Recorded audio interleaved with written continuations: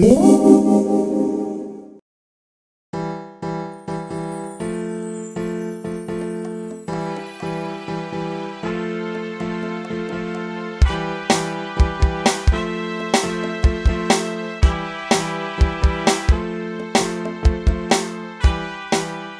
am going to make a flower crown for a doll using recycled computer paper, a toothpick, water, watercolors, and glue.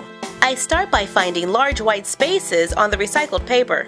Cut long strips, roll the paper around a toothpick, remove the toothpick, then continue to twist the paper. Adding a little bit of water can make the paper easier to twist. Once twisted, I lay them down to dry. Gently paint them with watercolors, and I like to use just a tiny bit of water so the paint is more concentrated, making the colors brighter and more vivid, and allow them to dry. Cut a square piece of paper, fold it in half, fold it in half again, and then once more. Trim off the top, open it up, add glue to the center, pinch the center opposite of the glue, gently twisting the paper to look like a flower. Gently paint the petals with watercolors, and I am choosing to paint the end green. Make several and allow them to dry. Take the long green strips of twisted paper and glue them in a circle, adding more than one if needed. Fold a piece of paper in half, make half of a leaf shape, open it up, paint it with the watercolors, allow them to dry, then gently refold them in the middle to make leaves. Begin gluing the leaves and flowers onto the circle, seal it with a clear glue, we even took the leftover pieces, glued them together to make a flower on a stem. And you're done. Happy crafting!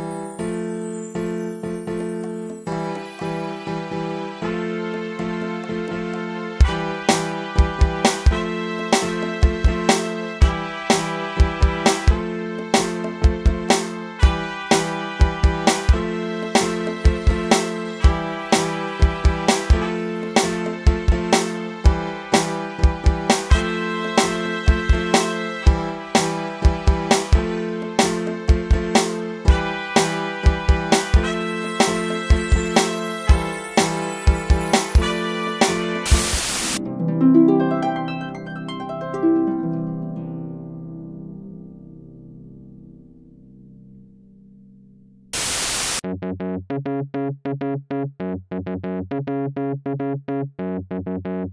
you.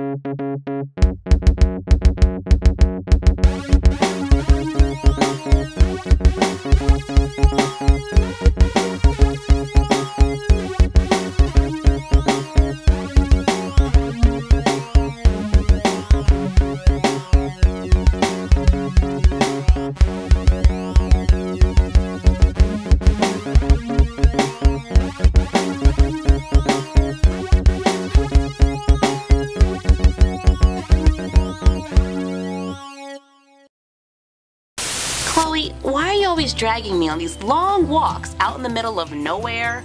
You know there's no cell service out here. Sophie, it's so beautiful. Just take it all in. Like all the pollen? Ha, ha, We want to give a shout out to Pinky Puff 104. What's up? Here, I made this for you.